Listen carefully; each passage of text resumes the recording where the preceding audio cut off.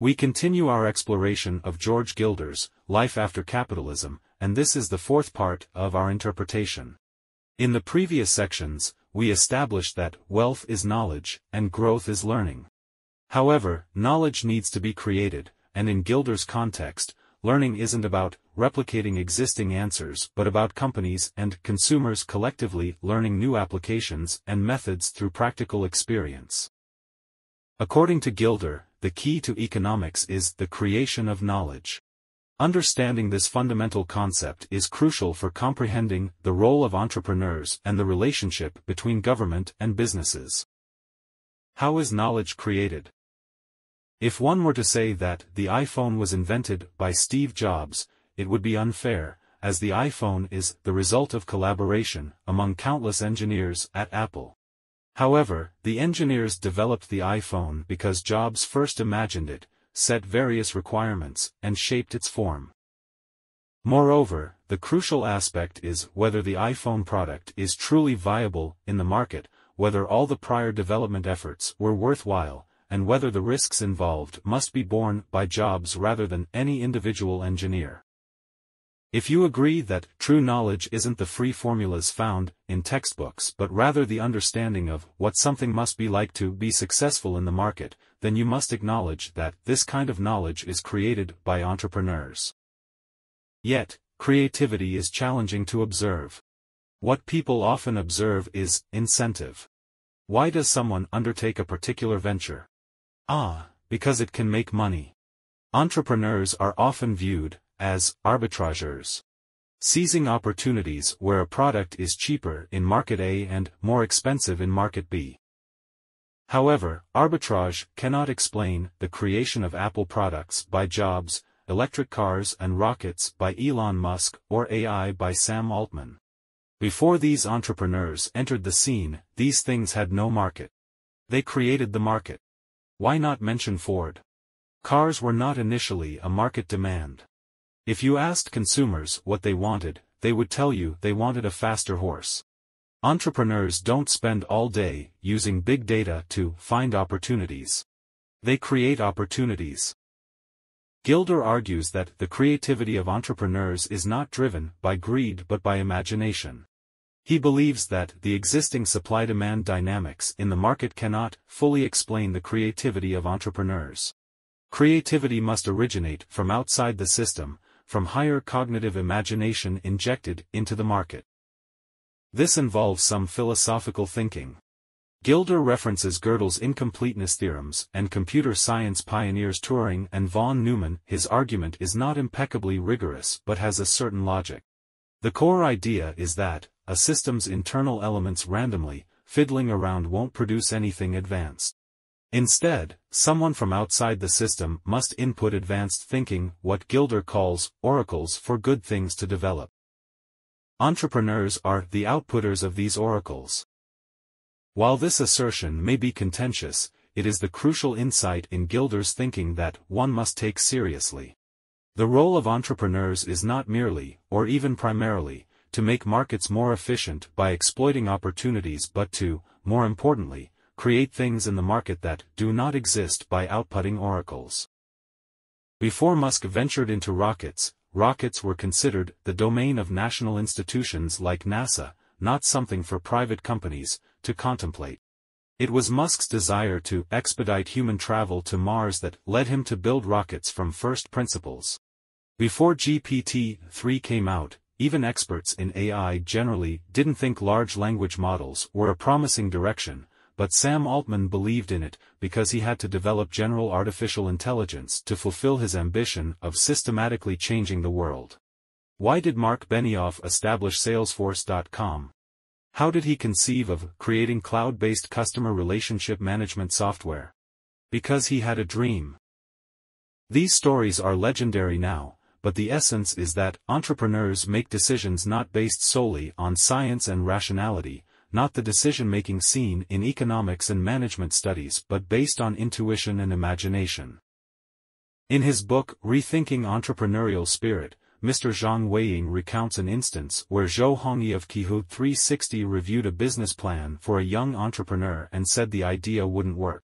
Zhang Weiying pointed out that, just because Zhou Hongyi said it wouldn't work doesn't mean it won't, as people also said the same about Zhou Hongyi when he started his business. Zhou Hongyi also mentioned, since starting my own business, every decision I've made has not been well received by others. Certainly, concrete actions require science and rationality, but here, I understand the role of entrepreneurs as initiating a vision from outside the normal operation a task that Wolfram calls the highest level job for humans, discovering new possibilities. This decision-making is more art than technology. Why can entrepreneurs do this? Because, in addition to the general risks with known probabilities, risk, there is also the uncertainty brought by new things experiences without precedent, unquantifiable, Knightian uncertainty, as we discussed earlier. The entrepreneur's task is not to adapt to risk but to create uncertainty. Not to assess the current probabilities of various possibilities, but to disrupt the current situation and introduce an X factor. Thus, in Gilder's view, entrepreneurs are not just individuals who go wherever there is an opportunity to make money. If opportunities could be digitized, AI wouldn't even be necessary. You could write a computer program to automatically discover price differences. Gilder's entrepreneurs are individuals who create their opportunities because they have a visionary imagination. The oracles they output cannot be predicted by any model and are irreducible. Gilder believes entrepreneurs have three characteristics. 1. They must pursue specificity, detesting mediocrity. 2. They cannot discover new things from old places. They cannot ensure the future path by examining the current scenery. Data and experience may be helpful, but they cannot provide safety. 3. Regardless of how much preparation you make, there will eventually be a moment when you act regardless of preparation. True surprises occur at that moment, and that moment is driven by your beliefs. Entrepreneurs must be both dreamers and pragmatists. Furthermore, to get others to work with you, you must convince them to embrace your dream, which is essentially the art of persuasion. Zhang Weiying says, entrepreneurs need the ability to turn imagined things into reality. They need the ability to change others' beliefs and persuade others to do what they want. This is also what Steve Jobs called the reality distortion field. Entrepreneurs live in a distorted reality, which is why they can distort reality. The degree of distortion depends on how surprising the thing you create makes people feel. We previously discussed Claude Shannon's information theory, and Shannon's crucial insight was that the size of the information in something depends on how much uncertainty it overcomes, in other words, information is surprise. If you spend money on an investment class, and the lecturer talks for three hours but only discusses well-known opportunities on the street, then you know the class was a waste.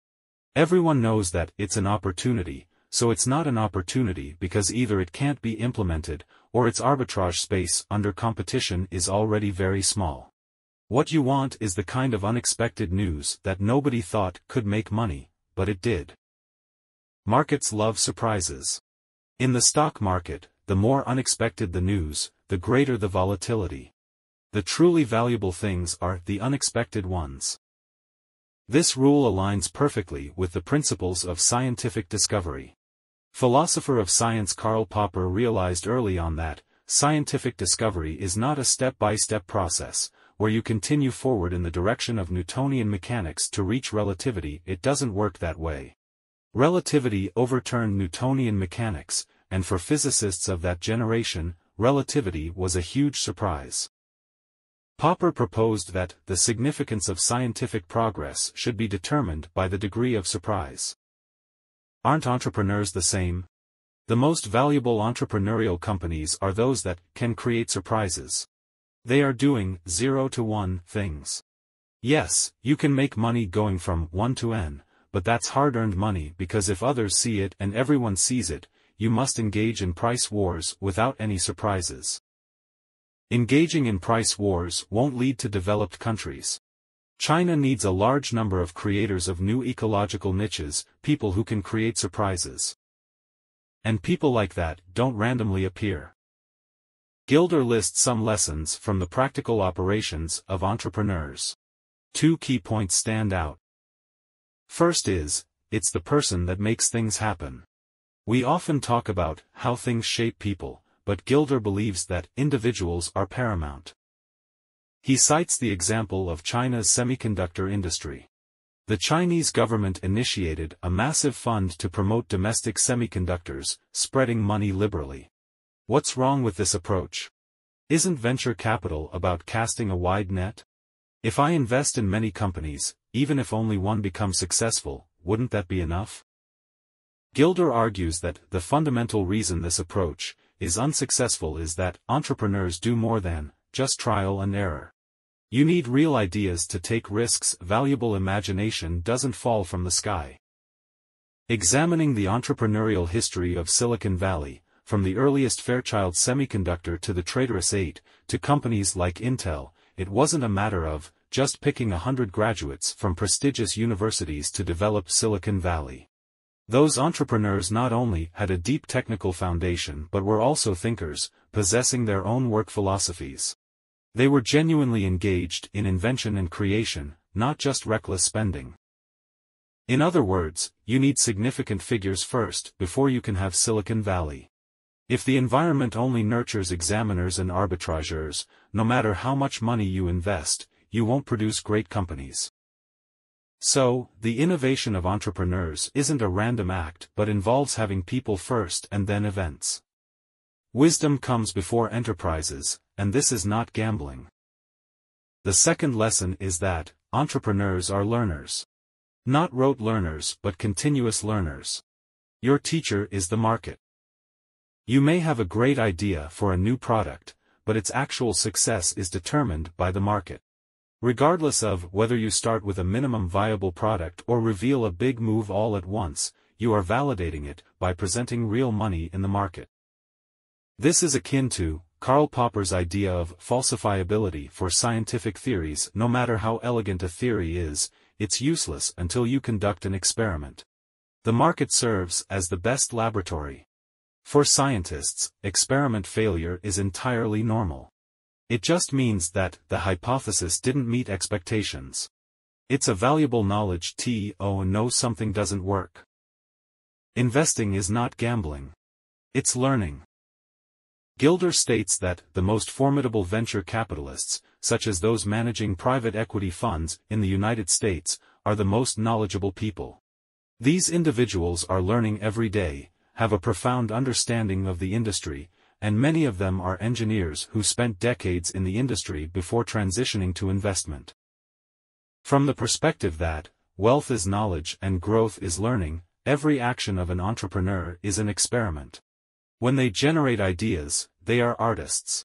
When they realize ideas, they are engineers. When they verify ideas, they are scientists. They are bold but also careful, eagerly awaiting the results of the experiment. What's more impressive is that, many times, they are spending their own money on these experiments, sometimes even using investor money but they are genuinely spending money, not just talking on paper. You can imagine how valuable this kind of knowledge is. And the government's role is not to disrupt their experiments. That concludes this part. In the next section, we will discuss the stage of low entropy.